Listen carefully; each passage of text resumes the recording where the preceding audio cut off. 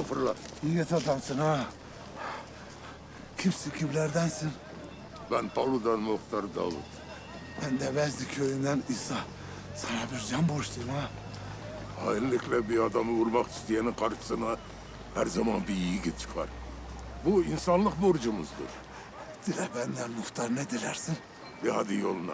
Hiçbir şey dilemem. Yok, böyle gitmem. Sen olmasan ben ölmüş bir adamdım. Bir hadi yoluna git. Yolun açık olsun. Dikkatli ol. Peki.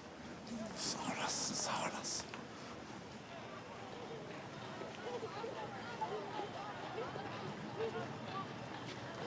Muhtar.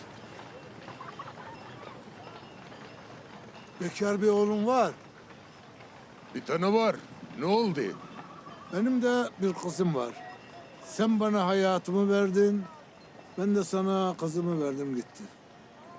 Benim oğlum sakattır. Kalbi sakat olmaz. İsa, iyi düşün. Bak gene söylüyorum. Benim oğlum sakattır. Sizinkileri görücüye gönder. Kızım sizin kölenizdir.